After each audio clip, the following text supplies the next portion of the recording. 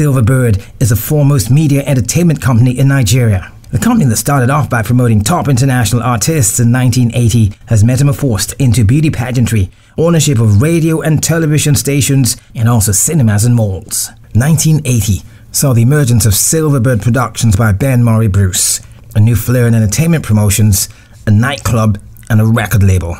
The army takeover in December of 1983 affected creativity with the final collapse of international recording labels and motion picture industries.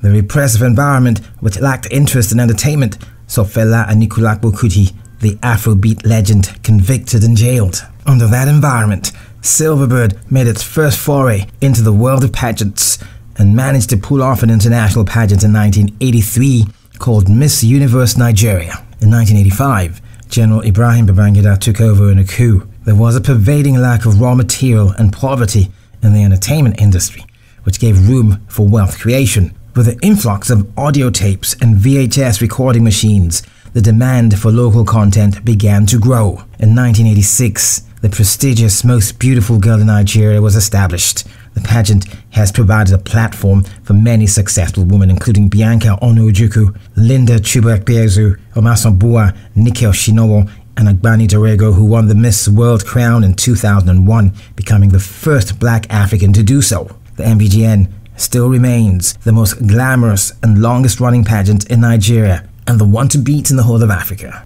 In 1988, Silverbird began TV syndication, offering both foreign and local content.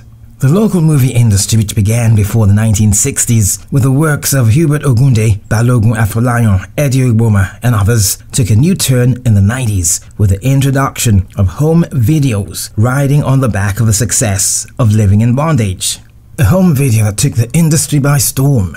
And from then on, electronics merchants began financing local films and took over direct marketing at Alaba, Idumota, Onitsha, and Aba. The 90s also saw the birth of private broadcast stations, including Rhythm 93.7 FM, and that marked a turning point for the Silverbird Group.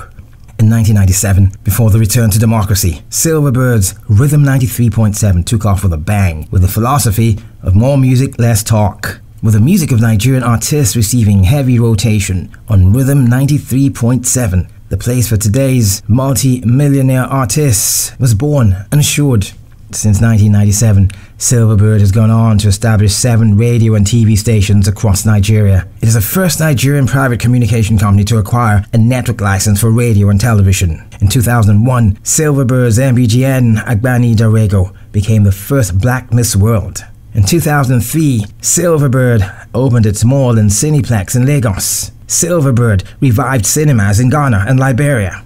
Silverbird Film Distribution began operations in 2004. In 2006, Silverbird, through its televised reality show, The Danceathon, broke the world record for the longest dance.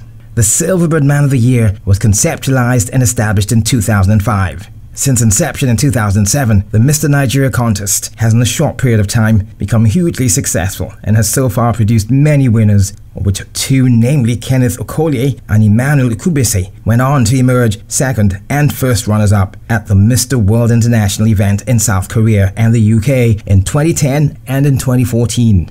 In 2013, Silverbird commenced its US operations with the opening of the Dream Studios in LA. In 2016, Silverbird's Rhythm 93.7 broke the world record for the longest rap on live radio. On February 17, 2020, Silverbird's 24 hour news service, News 24, became the latest member of the Silverbird family. As Silverbird continues to take giant steps towards positively affecting the lives of people, we welcome you to join us as we take a further leap into the future.